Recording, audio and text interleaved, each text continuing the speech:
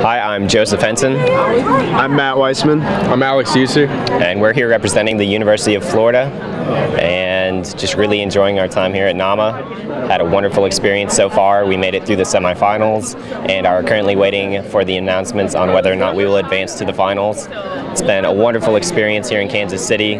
Great city, a lot of wonderful people, some great professionals, a lot of opportunities, and just been a really wonderful experience.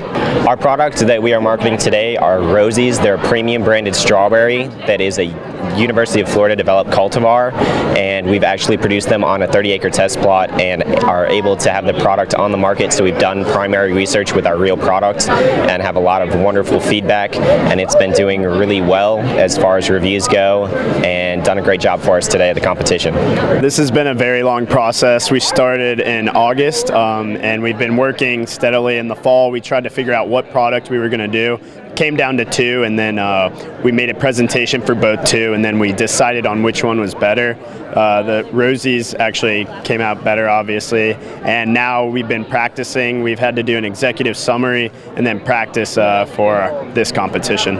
We've got two. We got two advisors. One's a professional advisor, not affiliated with the university, and then we've got an actual professor at the university that helps us and is in charge of the trip.